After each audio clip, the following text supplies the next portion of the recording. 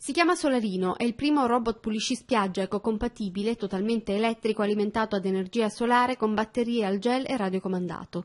È silenzioso, si muove senza problemi sia sulla sabbia asciutta che bagnata, non ingombra e grazie a queste caratteristiche potrebbe mandare in pensione i fastidiosi metodi di manutenzione spiaggia fatti con mezzi a motore.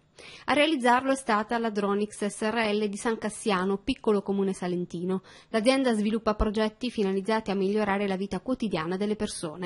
Solarino è nato in realtà alcuni anni fa da alcuni giovani e brillanti ingegneri salentini, ma solo ora è entrato in produzione.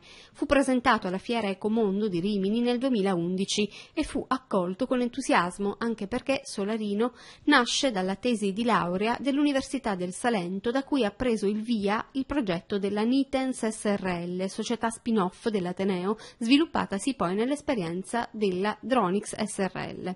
Ora, a produzione avviata, approderà al quindicesimo Salone Balnearia delle attrezzature balneari, outdoor design e benessere che si svolgerà dal 23 al 27 febbraio a Marina di Massa, in Toscana.